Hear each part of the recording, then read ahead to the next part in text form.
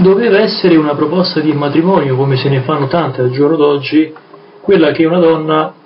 voleva fare nei confronti dell'uomo che amava, ma purtroppo si è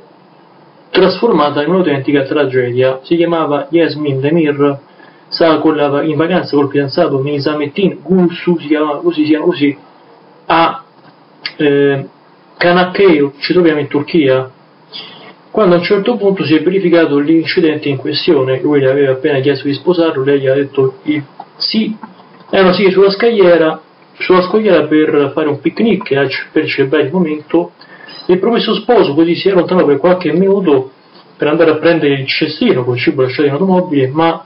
c'è stato un grido all'improvviso, è tornato indietro all'improvviso e ha visto la fidanzata che era precipitata giù dalla scogliera.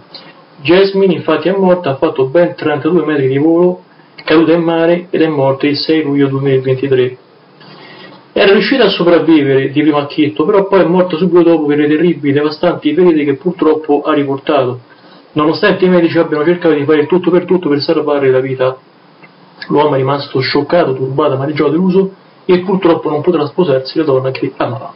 Insomma, una tragedia che doveva essere in realtà una giornata più, la più bella, forse più bella della loro vita, ma ripeto, si è trasformato in un evento terribile, devastante.